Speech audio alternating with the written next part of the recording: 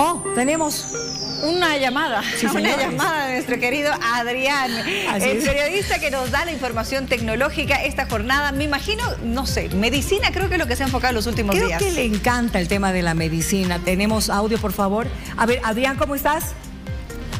Buenas noches, Denise. Hola, Miriam. Ya estamos a mitad de semana y la información sigue actualizándose. En esta ocasión hablaremos sobre la detección de cáncer gracias a la inteligencia artificial. ¿Saben de qué hablo? No. Desconocemos de qué se... Si no específicamente, pero ya que nos digas esa, ese avance, yo creo que es muy positivo para la sociedad, porque realmente imagínate prevenir, identificar el cáncer con anterioridad. Un equipo de investigación del País Vasco ha creado una inteligencia artificial que puede distinguir entre células cancerosas y normales con una precisión excepcional. Este avance utiliza imágenes de alta resolución obtenidas mediante microscopía Stone para revelar detalles a nivel nanométrico.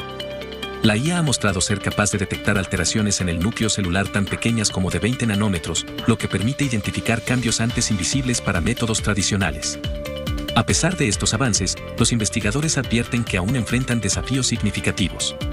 La tecnología requiere equipos especializados y una inversión considerable en infraestructura. No obstante, los investigadores están optimistas de la IA, ya que pronto podrá mejorar el diagnóstico y el tratamiento de enfermedades a nivel global.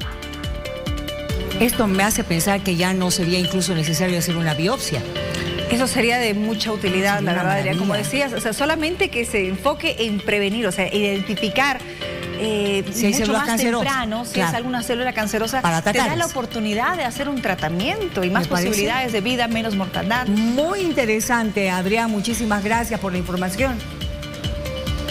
No se pierdan la noticia de mañana, ya que los avances en salud impactan todos los días. Descansen muy bien, buenas noches. Buenas, Buenas noches, adiós. noches. Gracias.